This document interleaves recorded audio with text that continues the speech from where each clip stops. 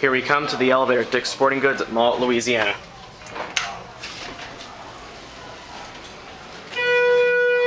Ooh, barely any light in here. It's gonna be dark a little bit too.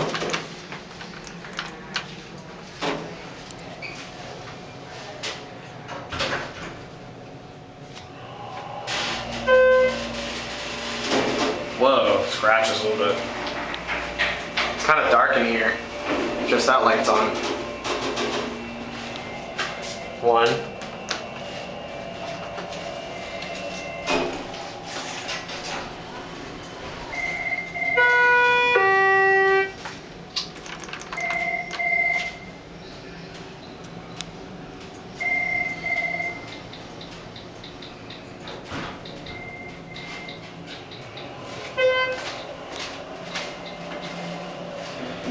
Just your basic Schindler elevator.